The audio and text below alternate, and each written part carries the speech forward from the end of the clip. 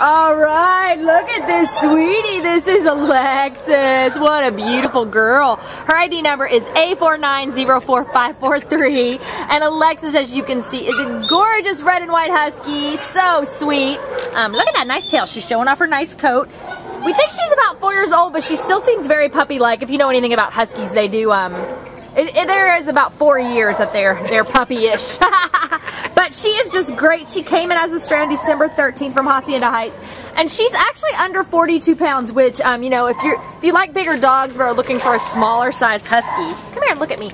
Then, um, then she's you know great for that because she is definitely a smaller size. She's got a lot of great playful energy. Um, she loves to cuddle and kiss. She came over here just to kiss the camera. Yes. Um, she does need a training refresher, you know. Um, I don't know how much anybody has worked with her. She seems um, very interested and attentive to learning. I was trying to work with her to do some sit and lay down. Um, but yeah, she sat really nice and easily right now.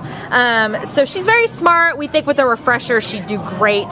And she's just a joy. So if you are looking for a beautiful girl like Alexis, and we hope you are, then come on down to the Baldwin Park shelter and check this beauty out. Yeah, and she would love to go home with you. Bye, Alexis. Yeah, yeah, yeah. She's, she's gonna jump up here and kiss me. Bye-bye. Bye-bye, beauty.